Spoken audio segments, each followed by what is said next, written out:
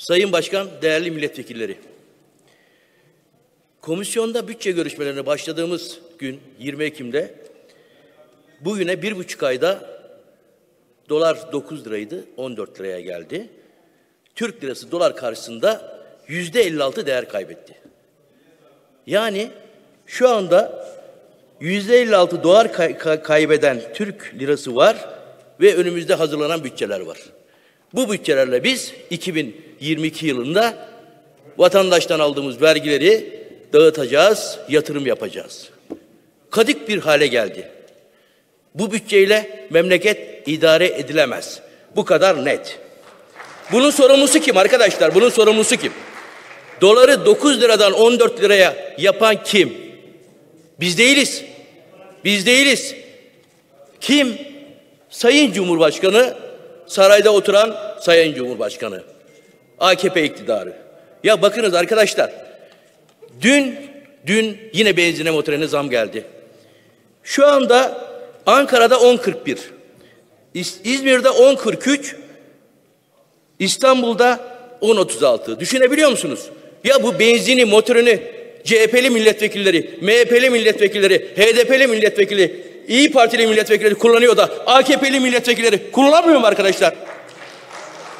Bakınız. 90 lira olan 90 lira olan tuvalet kağıdı şu anda 131 lira olmuş durumda. Bakınız arkadaşlar bir simit İstanbul'da üç buçuk lira. Ankara'da 3 lira. Ekmek iki buçuk lira olmuş durumda. Acaba AKP'li milletvekili arkadaşlar ekmek yemiyor mu? Simit yemiyor mu? Nerede yaşıyorlar? Bu iktidarda, bu iktidarı sürdürenler nerede yaşıyor? Saraydakileri biliyoruz da AKP'li milletvekili arkadaşların da benzin aldığını, mazotu aldığını da biliyoruz.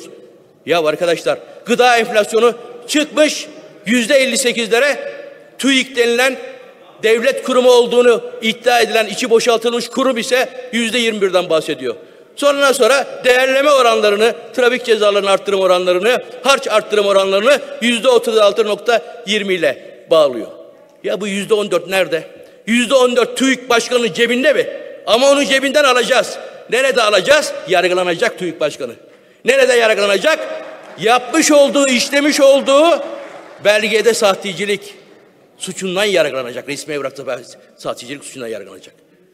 Hiç kimse bir yere gitmeyecek. Devlet kurumlarını boşalttılar. Özelleştirme İdaresi Başkanı oturuyor.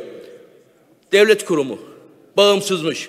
Hazine Bakanlığı'na bağlıymış. Ya arkadaş siz artık emlakçı ofisine döndünüz ya. Memlekette bitirdiniz her şeyi. Şimdi tarlaları, arsaları satmaya başladınız.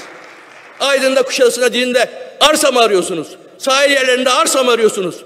Bitirdiniz. Özelleştirme adı altında memleketinin cumhuriyet kurumlarını peşkeş çektiniz. Talan ettiniz.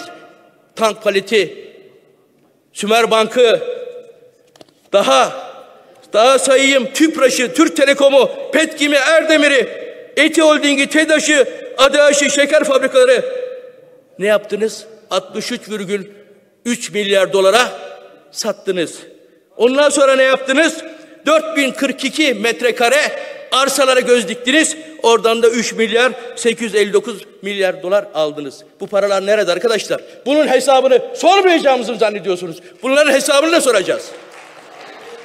Değer, değerli arkadaşlar, bakınız özelleştirme idaresi var. Özelleştirme idaresi Sayıştay raporlarına baktım. Özelleştirme idaresi başkanlığı çok ilginçtir. Değer tespit raporlarını 7 yıldan beri yayınlamıyor. Neden yayınlamıyor? Vatandaşın özelleştirilen arsalardan, şirketlerden, kamu sermayesinden neden değer tespitlerini vatandaş bilemiyor? Sayıştay 7 yıldan beri yayınla diyor, yayınlamıyor. Kimden ne kaçırıyorsunuz? Kimlerden kimlere peşkeş çektiniz de vatandaştan kaçırıyorsunuz? Bunun hesabını da vereceksiniz. Özelleştirme işleri başkanlığı olarak. Arkadaşlar özelleştirme idaresi başkanlığına giriyoruz. Aynı pazarlamacı sitesi gibi.